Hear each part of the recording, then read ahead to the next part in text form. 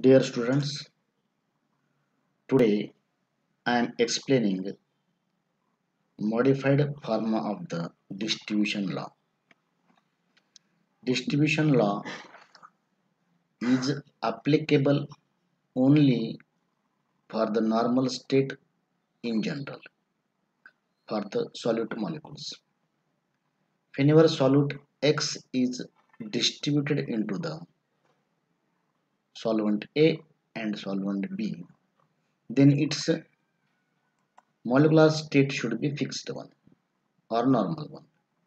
Whenever its molecular state is changing, then the distribution law is changing. So we have to see the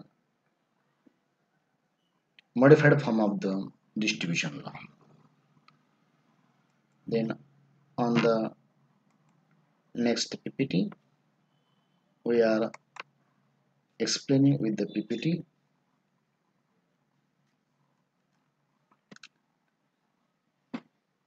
dear students association of solute means what? That we have to see first. Suppose the solute x is present as a simple molecule in solvent a and solute x in solvent b is in a associated form as xn then assuming that a few single molecules of X are also present in solvent B, the equilibrium that exists in the two solvents are shown in figure.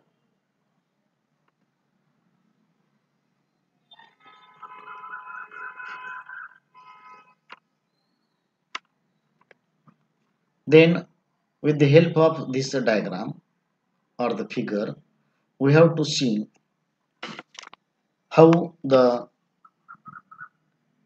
distribution law is changing as per the change in molecular state of the solute. Distribution law is concerned with the distribution of solute X into solvent A and solvent B. In this case, whenever we are adding solute x then what will happen some part of x distributed into the solvent A and some part is going to be distributed into the solvent B. Then the whatever the molecular state of solute X in solvent A and in solvent B that should be same or that should be in the on the normal state. Whenever the concentration of X in solvent A and in solvent B is same or is with respect to the same molecular state then we can apply the law but when there is a association or dissociation in the one of the solvent with respect to the solute molecules then the normal form of distribution law is changing. In this case, we are studying the modified form of the distribution law whenever the solute molecules undergoes association. What is meant by association? Whenever two or more than two molecules are combining with each other and forming a somewhat larger molecules, then that molecules are called associated molecules, which are forming from the normal molecules. Means what?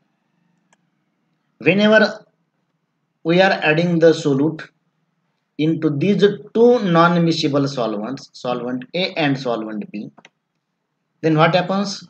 Solute X is distributing in A and distributing in B also. But what happens in the solvent B? Some normal molecules of X they unite with each other and are the associate with each other and forming a molecules associated molecules.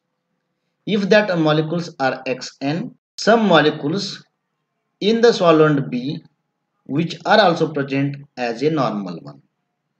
Means in the solvent b there are two types of molecules or the two states of solid molecules are present. Some molecules are in a normal state and some molecules are in a associated state.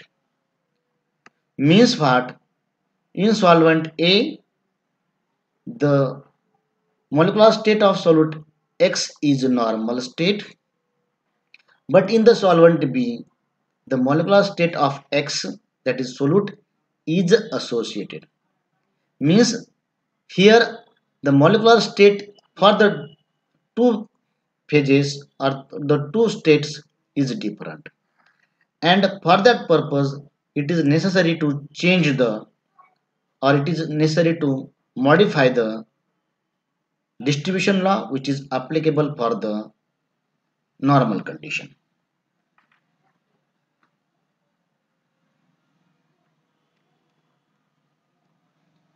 let C1 be the concentration of X in solvent A.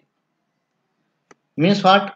In this diagram, whatever the concentration of X of the solute which is added in this non-miscible liquids, if we are considering the C1 is a concentration of solute X in solvent A and C3 is the concentration of normal molecules of solute X in solvent B and C2 will be the concentration of Xn molecules which are associated molecules.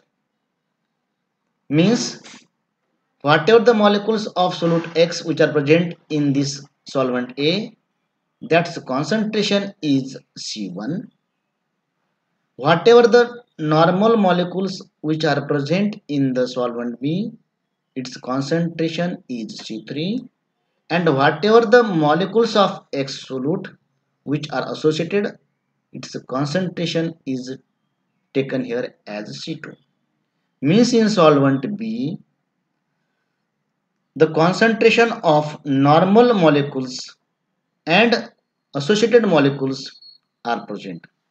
And they have a equilibrium after some time. Means normal molecules are uniting and forming the unassociated associated molecules that associated molecules and normal molecules they are also in the equilibrium. Means n number of molecules of solute x which are in a normal state they are combining with each, with each other are associating with each other and forming a larger molecules which are termed here as xn and there is a establishment of equilibrium also.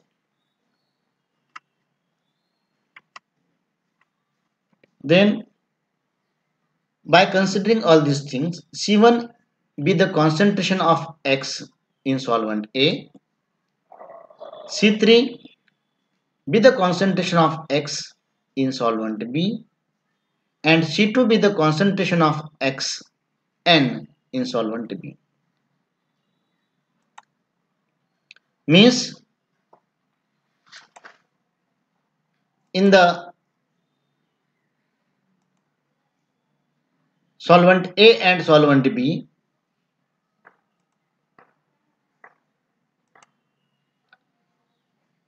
the molecular state is different.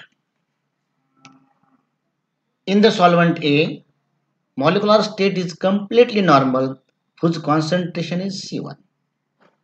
In the solvent B, the molecules of X are in two different states with their equilibrium.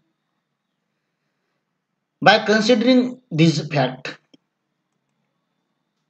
and applying the distribution law for the normal molecules present in the solvent A and solvent B and considering the equilibrium between them also we have equation C1 upon C3 is equal to Kd where C1 is the concentration of normal molecules of X in solvent A and C3 is a concentration of the X solute in the solvent B which are a, in a normal state.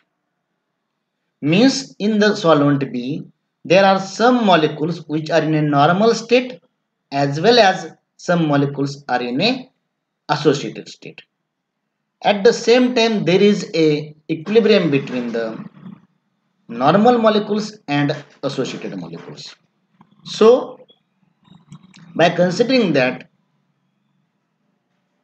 we can apply the mass law to that equilibrium in between the normal molecules of the solvent B and associated molecules of the solvent B we can write equation in this way. Number of X molecules which are in a normal state is in equilibrium with the associated molecules. Means these two having also the equilibrium. So now we are applying the mass law to this equation.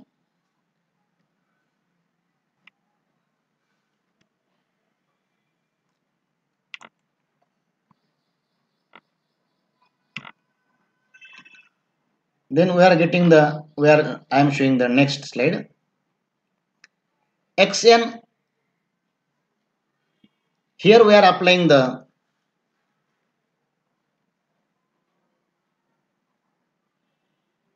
mass law for this equation concentration of products upon concentration of reactants means concentration of xn upon concentration of x raised to n is equal to Kc. Or this equation may be written in the another form by putting the values of concentrations of the concentration x of xn and concentration of x. What is the concentration of xn? Concentration of xn is C2 and concentration of X for solvent B is C3. By putting these values,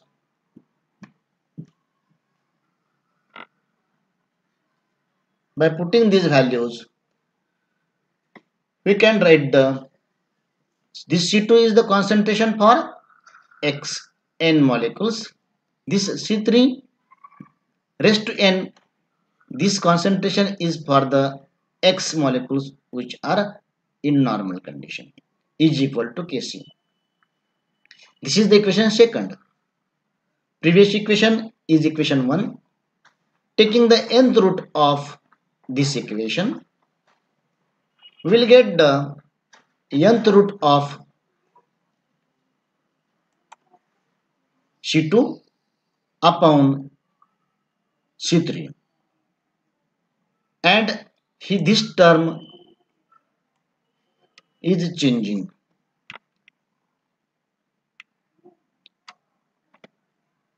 In this case, in this equation, we have taken the nth root of the both the sides. By taking the nth root on both the sides, this C3 raised to n converted as C3 and this is converted as a nth root of C2. Being we are taking the nth root on both the sides, this Kc terms may converted in this way nth root of Kc. This is the equation third. In the next step, dividing equation 1 by 3, equation 1 I am showing to you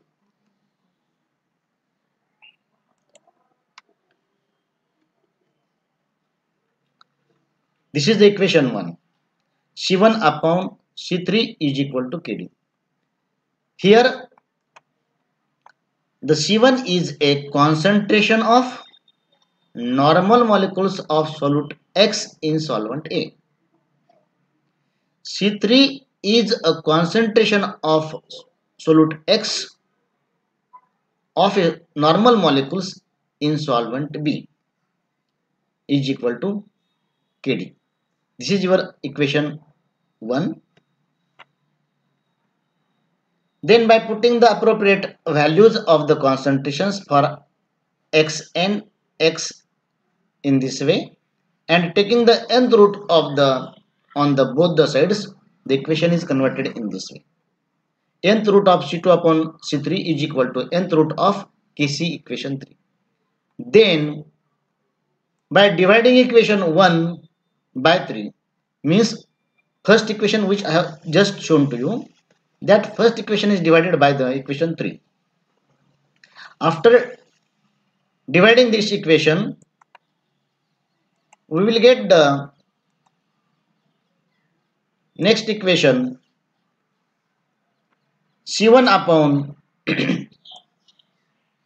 nth root of c2 is equal to kd upon nth root of kc means what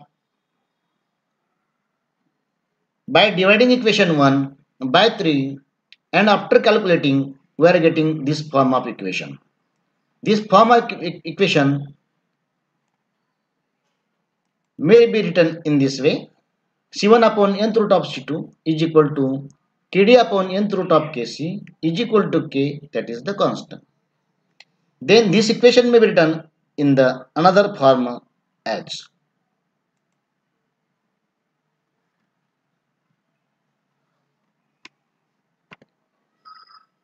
Thus, on association of molecules of the solute in one of the solvent, the distribution law which is applicable for the normal molecules that is C1 upon C2 is equal to Kd is modified in this way. This modified form this modified form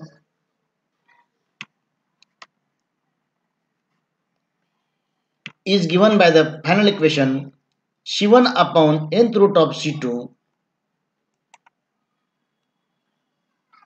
is equal to Kd.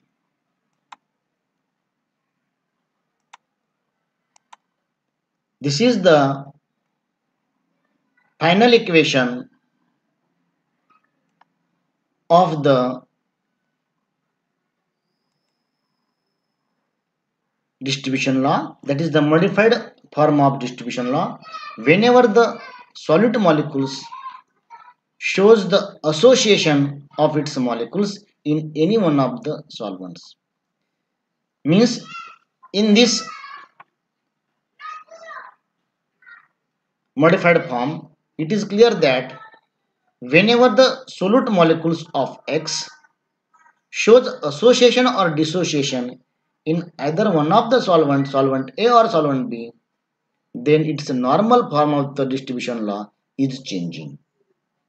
So, the C1 upon nth root of C2 is equal to KD. This is a modified form of the normal distribution law whenever the solute molecules of X showing the association. Dear students, now I am explaining modified form of distribution law.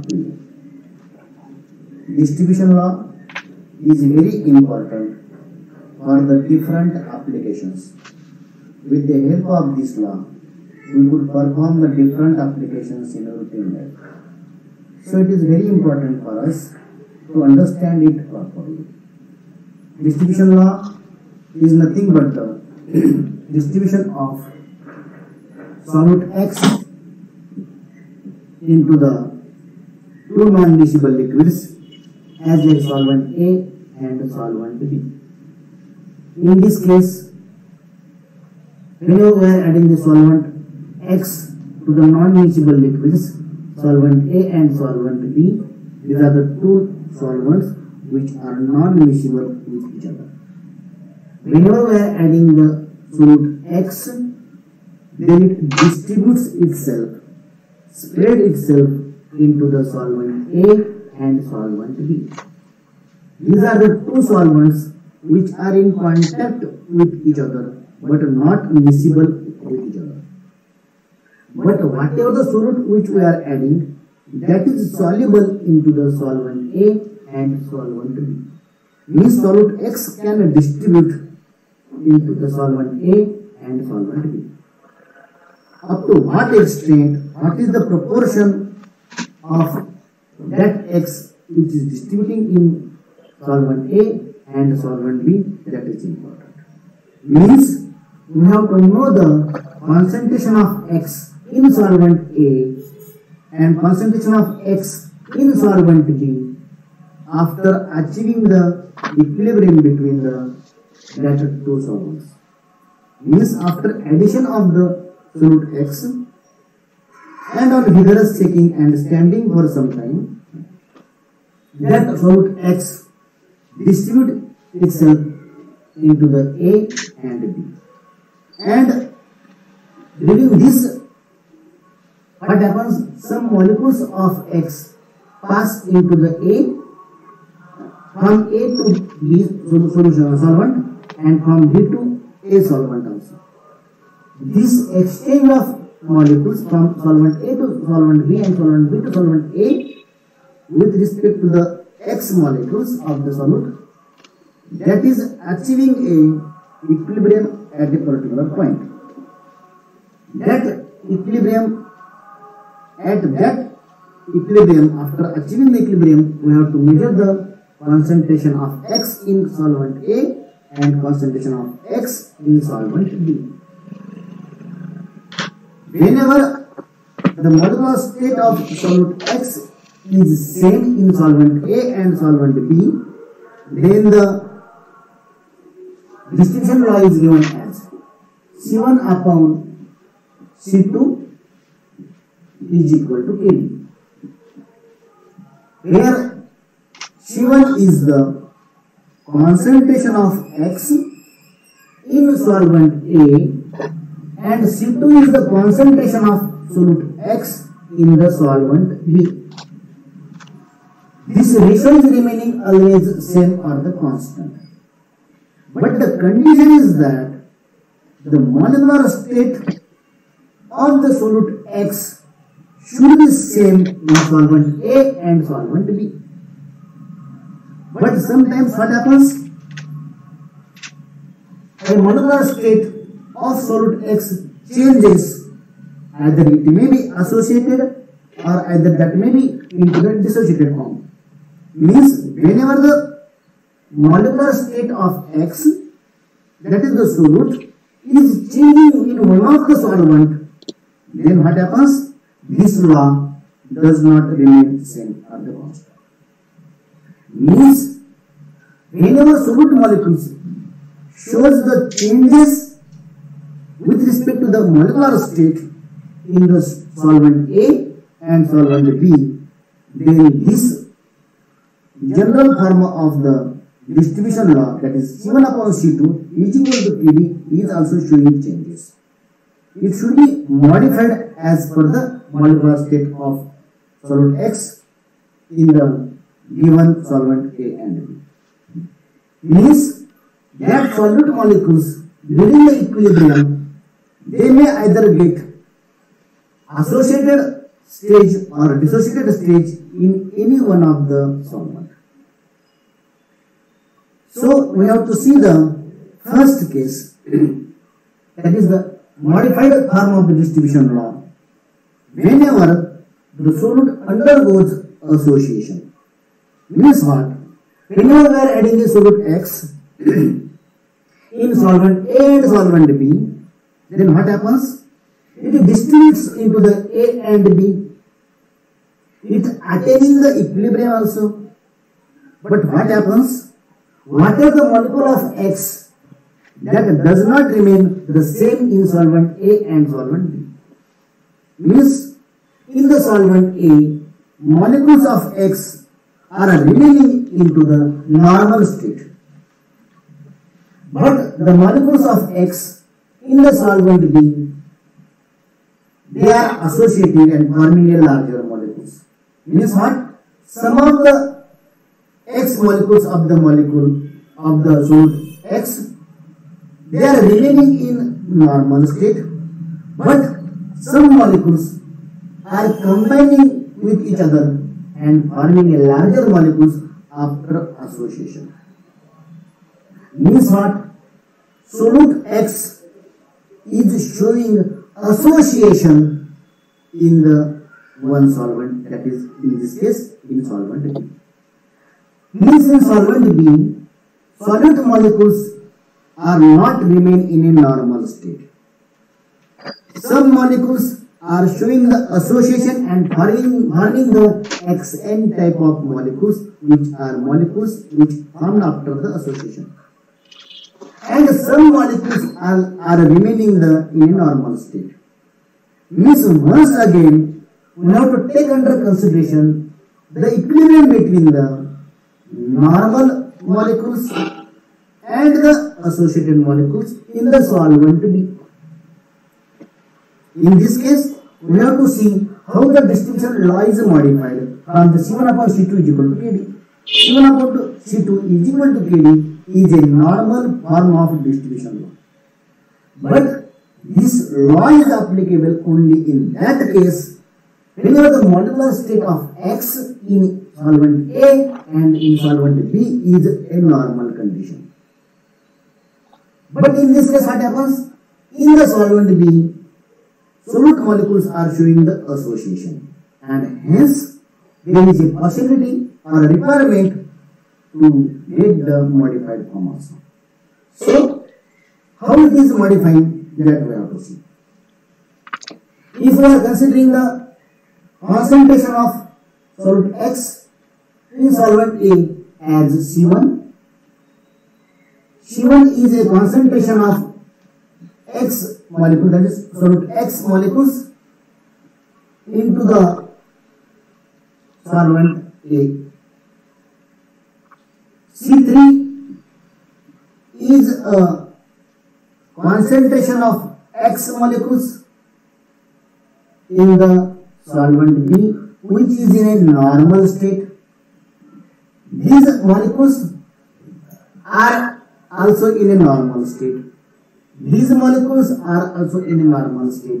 But most of the molecules are showing the association in the solvent B whose concentration we have to measure represent here as C2 in the B. Means C2 is a concentration of associated molecules in the solvent B. Take under consideration once again. In the solvent A, whatever number of molecules of solute X that are in a normal state and its concentration is C1. What happens about the solute X in the solvent B? In the solvent B, there are some normal molecules and some associated molecules. And they have also they are also attaining the equilibrium between them. The concentration of normal molecules in solvent B is represented here as C3. C3 is the concentration of normal molecules in the solvent B. and C2 is a concentration of the associated molecules. Right? Then this law is applicable for the or initially applicable for the generally normally it is applicable for the normal molecules. Hence we can write the equation or in this case C1 upon C3 is equal to KD C1 is a normal molecules of solute X in solvent A and C3 is a concentration of normal molecules in the solvent B. Normal molecules upon normal molecules, normal molecule concentration upon normal molecule concentration is equal to Kd. This is the situation for the association case. Now we have to apply the mass law for the equilibrium between the normal molecules and the associated molecules in the solvent B. And we can write the equation in this way. Mx giving equilibrium or showing equilibrium with the X n molecules. Means what? N number of X molecules which are in, in a normal state, they are showing the equilibrium with the associated molecules. By applying the law of mass action to this equation, we can write down in this way concentration of xn upon concentration of x raised to n is equal to concentration of product upon concentration of reactant. That is the mass law for the equilibrium condition. Then, what is the concentration of xn in this condition? xn having the concentration C2. So write down C2 upon concentration of X in the solvent B is C3. So write down C3 here and power n is equal to Kc. Here this equation we have to number as equation 1. This equation we have to number here as equation 2. Means this is the equation for the equilibrium condition between the normal molecules and associated molecules in the solvent B being the some molecules are showing the association in the second solvent that is solvent B. And by applying the mass law for the equilibrium, we have written concentration of xn upon concentration of x raised to n is equal to C2 upon C3 raised to m is equal to Kc. This is the equation then taking the nth root of the both side. In this equation, take the nth root on both the sides. Then this equation may be written in this way. nth root of C2 आपका C three is equal to length root of B C three this case we have the nth root from this side and from that side also equation one right hand side of the equation one is C one upon C three dividing equation 1 by equation 3. Then nth root of C2 upon C3 is equal to KD upon nth root of AC.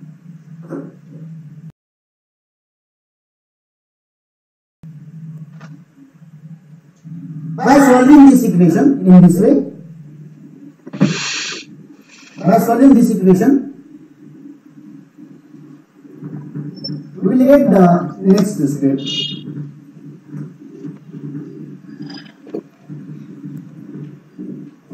C1 upon C3, C1 upon C3,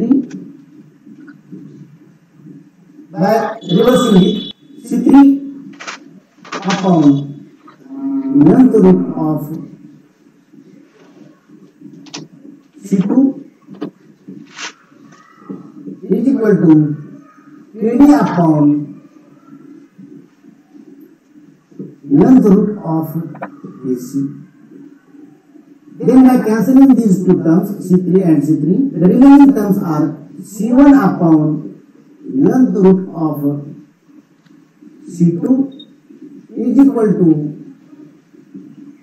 KD upon nth root of Kc is equal to K. That is new constant. Means on simplifying this equation, this equation becomes C1 upon nth root of C2 is equal to K. As a modified form, whenever the solute molecule shows the or undergoes the association in one of the solvent, C1 upon root of C2 is equal to K. This is the modified form of the Nernst distribution, distribution law. Whenever solute molecules shows the association in one of the solvent. This is the equation which we, are, have derived here for the condition that whenever solute molecules undergoes association. In the solvent B, number of the molecules which shows the association is large one and hence the total concentration is considered experimentally as a concentration of xn molecules.